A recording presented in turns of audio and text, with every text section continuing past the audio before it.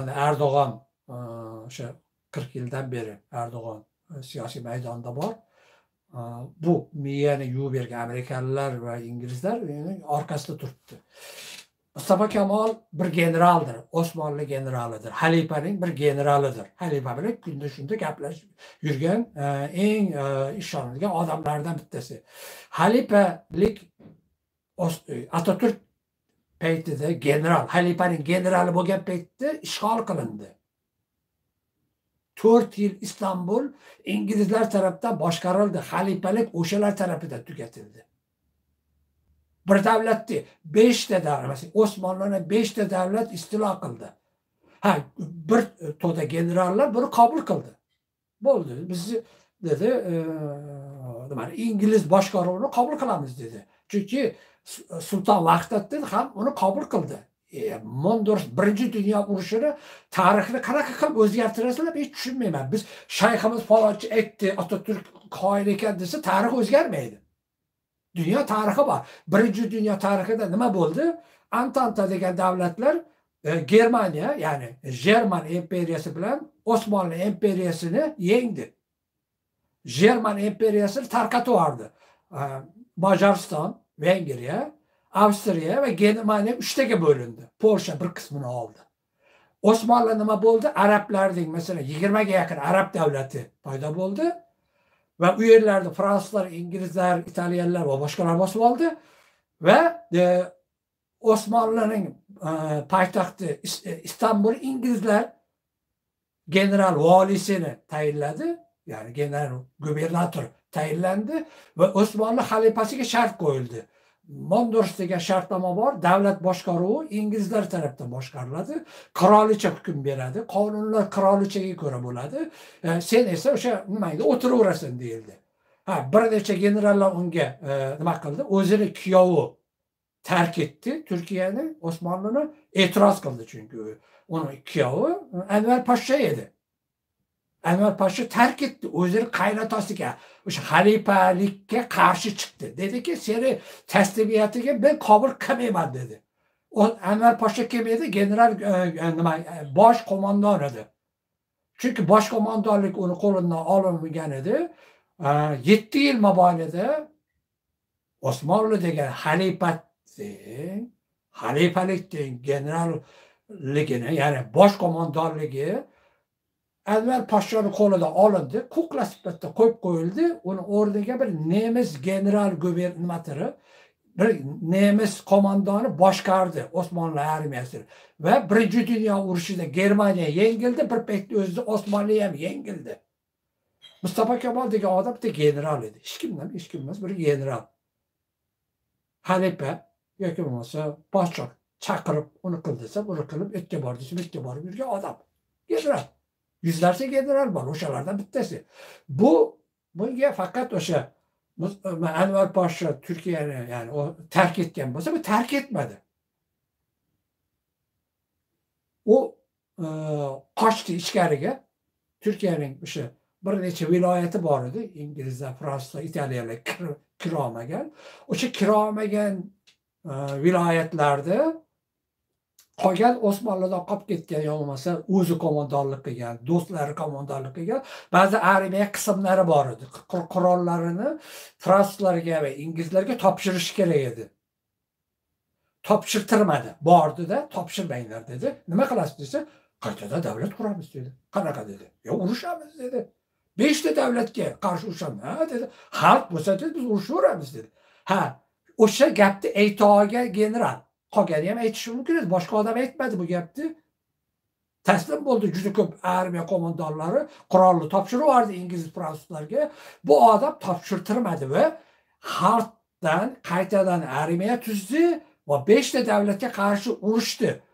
Ha bu urush necha yil davom etdi? To'rt yil davom etdi. To'rt yil ichida istanbulda o'tirgan xalifaning o'rniga o'tirgan vaqtaddin degan odam buni o'ldirishchi farmon orqasidan farmon chiqaraverdim bu e, armiya mustafa kamol tuzgan armiya xoindir kofirdir undaydir bundaydir buni nima qilmaysizki o'zi inglizlar qo'lida o'tiribdi islomni inglizlar boshqaryapti inglizlardan so'ramasdan tualetga ham borolmaydi qayerga borsa inglizlardan so'raydi u o'tiribdi inglizlar boshqaryapti poytaxtni ammo bu aytyaptiki ozod qilamiz poytaxtni ham ozod qilamiz hamma joyda ozod qilamiz qaytadan davlat mustaqillikka erishadi degan odammi?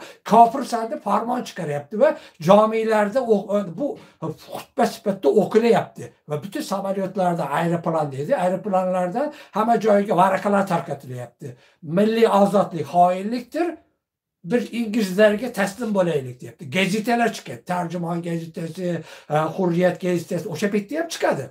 O'sha paytda gazetalarda xalifaning noibi bo'lgan o'sha vaqtiddin degan odam tarafdan imzolangan hukmlar bor farmonlar bor. Inglizlarga taslim bo'lish inglizlarni qabul qilish inglizlar qutqaruvchi ekanligi haqida har kun gazetalar bong uryapti shu odammi? Bugun yaxshi odam edi bu otatürk kofir deb miyaga tiqishtirib yuborgan ha bu birinchi dunyo urushi haqidagi tarix bu buni o'zgartirib bo'lmaydi. Mustafa kamol degan odam butun e, hozirgi turkiyani ichki qismini ozod qilgandan keyingina eng oxirida to'rt yil o'tgandan keyingina istanbulni o'rab oldi atrofini va ultimatum qo'ydi inglizlarga. Yoki deydi o'sha e, bospor cho'kasiz yo'q qilib yuboramiz. Yo nima chiqib keting dedi. Chiqib ketayotgan paytda o'sha xalifaning noibi bo'lgan o'rniga qolgan sulton vahdaddinni ham o'zi bilan kemasida birga olib ketdi.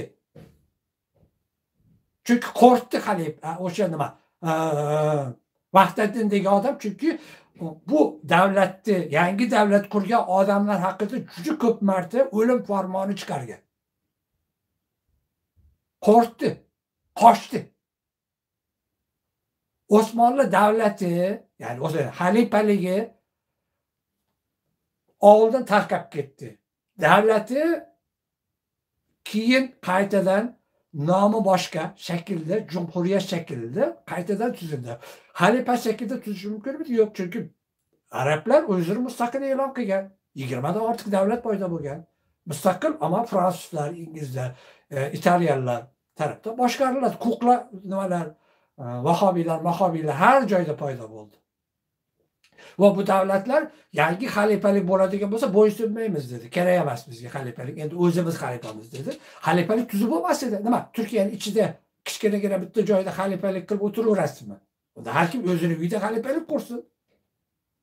Nima qilsin mustafa kamol o'zi zo'rg'a kichkinagina bir qismini xalifalikda qolgan qismi ozgina bir qismini ozod qila oldi faqatgina. O'sha joyni xalifalik e'lon qilsinmi? Nima qilsin? Ham o'sha xalifalik butun qonun va nimalari bilan rivojlanish taraqqiy qilish imkoniyatiga ega bo'lmadi va xalifalikni qarzi mavjgacha kelgan edi. U to'lash kerak. Baribir to'latishdi. Oltmishinchi yilgacha turkiya davlati xalifalikni qarzini to'ladi.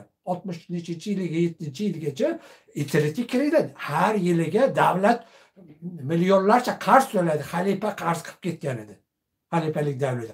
Keyin xalifalik deganda odamlar tushunadiki oqsoqolli sallali xasta yurgan odam. Filmini qilishgan dizisini e, nimasi seriallarni ko'rishyapti. O'sha odamlar bilasizlarmi? Turkiyada mustafa kamol raki fabrikasini qurmadi. Raki borku vodka vodka. O'sha xalifangiz qurdi borib o'qib ko'ringlar. Raki fabrikasini tarixi deb yozinglar internetga nima chiqadi nechinchi yilda qurilgan. Abdulhamid qurdirgan raki fabrikasi. Efes degan piva chiqadi bira. Efes turkiyada hamma joyda bor. Otaturk qurdirmadi uni bu fabrikani. Osmonli paytda qurildi. Abdulhamid sarmoyasi bilan qurdirdi. Abdulhamid degan odam rassom edi. Yalang'och xotinlarni rasmini chizardi. Chizgan portretlari muzeylarda turibdi hamma joyda. Viski ichardi viski. Eng yaxshi pro sigaret chekardi dolmabaqcha degan saroydiga borib muzey sifatida ko'ringlar. Ostiga qo'yilgan abdulhamid qanaqa viskilarni qanaqa sigaret ichgan bo'lsa muzeyda turibdi hammasi. Rasmlari ham turibdi chizgan. Bugun pornografiya deyishadi unaqa rasmni xotinlari unaqa deb yurmagan ochiq yurgan. Nafaqat uni xotinlari boshqalarniki ham xuddi shunaqa. O'sha yerdagi e, go'yoki mustafa kamol keldida xotinlari yetishtirgani yo'q. Qarang o'sha halifa abdulhamidning xotinlar rasmlariga qaranglar uni o'zini yurishini qaranglar. Kostyum kiygan galstuk taqqan odam yani. Miyangizni yuvib bo'lgan sizlarni bunaqa narsalarni savollar bermaslik kerak odam o'zi kerak davlatchilik e, e, haqida gapiryapmiz tarix haqida gapiryapmiz. Hujjat mana meni mazhabimdan meni istagimdan qat'iy nazar men din dushmani odam emasmanki. Menga bir narsa o'rgatishga harakat qilasizlar dushman bo'lsa odam aytadi ya'ni men deydi e, ishonmayman deydi nima deydi nima qilasiz? Tavba qildim. Astag'firullah ya'ni ishonmas ekan bir nimadir bu bilmayman. Uni men tasavvurimga sig'dira olmayman e'tiqodsiz yashashni endi bu bunaqa agar e, trollar birollar bu asabiylashsin qizishib ketsin anaqa qilsin deb bunaqa darrov islomiy e, jabhaga bir yomon ko'rsatamiz. Shunaqa deb yozsak islomiy jabha buni yomon ko'radi muxlis bo'lmaydi deb e, trollar albatta yozyapti hozir bunaqa savollar. Men tushunaman lekin troll bo'lmagan odamlarni ham bunaqa fikrlashini ko'rdim. Savodsizlik bu ya'ni.